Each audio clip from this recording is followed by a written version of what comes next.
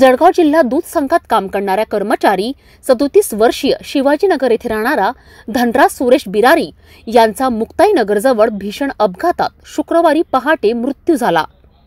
आर्थिक मदत मिळावी यासाठी मयताच्या कुटुंबियांनी मृतदेह थेट दूध संघाच्या आवारात आणला.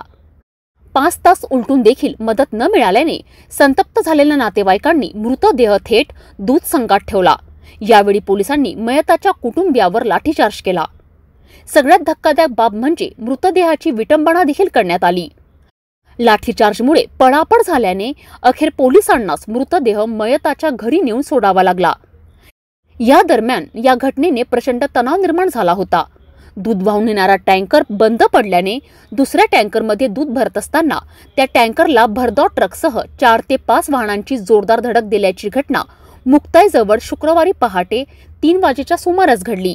डबल ड्युटी केल्यामुळे माणसाचा जीव गेलेला आहे. जीव गेलेला आहे. आम्हाला न्याय मिळालाच पाहिजे. आम्हाला पन्नास लाख रुपये.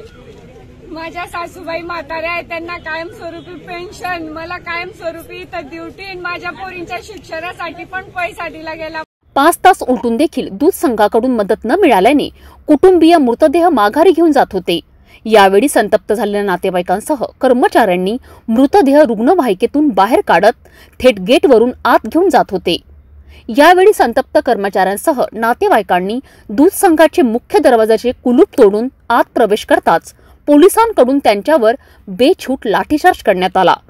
त्यामुळे परिसरात पळापळ होऊन तणावाचे वातावरण निर्माण झाले होते. मृतदेह दूध संघाच्या आवारात आणत मृतदेहाची शेवटच्या क्षणी देखील विटंबना करण्यात आली. यावेळी नातेवाईकांनी प्रचंड आक्रोश केला.